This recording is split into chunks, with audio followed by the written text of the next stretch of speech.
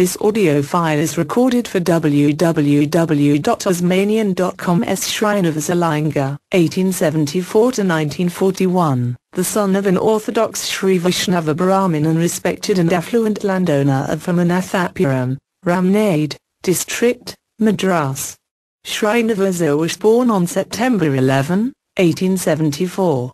Srinivasa Iyengar commenced practice at Madras High Court in 1898 and advanced to the top of the profession in an incredibly short time. His intimate knowledge of Hindu Dharma Shastras and of the great classics of jurisprudence and constitutional law coupled with his original inquiring mind, made him a legal thinker in his own right and his edition of Maine's Hindu Law, 1939, was hailed as a classic. Besides law, Srinivasa Iyengar's other interests were education, social reform, and politics.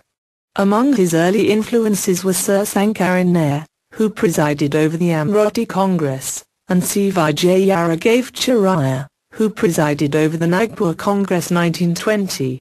He was also an admirer of Gokhale, in whose name he endowed a prize, and later of Mahatma. Although Srinivasa Iyengar felt concerned about the developing political situation in India at least after 1910, it was only in 1920 that he took the plunge into politics, having resigned the office of Advocate General.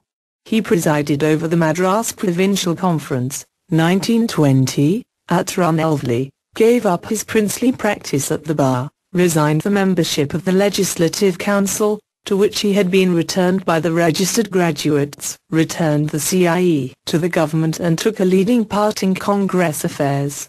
He actively participated in the Congress sessions from Ahmedabad, 1921, to Lahore, 1929, and gave an unparalleled lead to the Congress in Madras for about 10 years. After the Congress had decided on council entry he led the party to victory in Madras in 1926 and was himself elected from Madras to the Central Assembly and also acted as leader for a time when Motilal Nehru was away from India.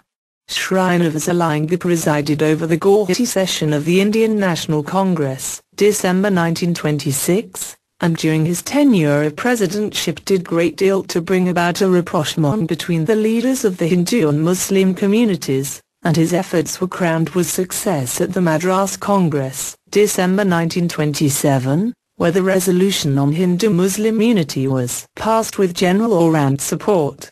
It was also about this time that he published Swaraj Constitution, outlining a federal scheme of government for future India. When the All Parties Report, known as the Nehru Report, was published in 1928 outlining a constitution for India in terms of dominion status, Srinivasa Iyengar organized the Independence League with himself as president and Jawaharlal Nehru and Subhas Chandra Bose as secretaries. The differences between Motilal Nehru and Srinivasa Iyengar on the issue of Dominion Status versus independence became acute during 1929, and although it was decided finally in favor of independence at the Lahore Congress in December 1929, Srinivasa Iyengar himself decided to retire from active public life early in 1930. He made, however, a brief return to political life in 1939 as a dynamo of political thought, than an organization man. He died suddenly on May 19, at his residence in Madras.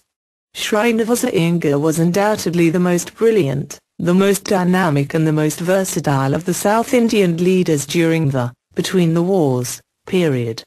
By his extensive educative tours in Madras, he carried the message of nationalism to the remotest villages, and it was to his credit that he made the Madras Province Congress minded.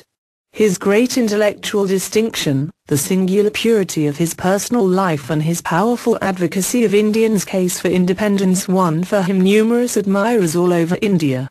Young Kamaraj of Virudhunagar was one of Srinivasa Iyengar's many finds, and among his staunchest supporters were Satyamurti, Muthuranga Mudaliar and Subhas Chandra Bose. Srinivasa Iyengar was a believer in linked leadership, by which he meant that a real leader should maintain meaningful contacts with all the cadres in the political organization and from the national to the village level.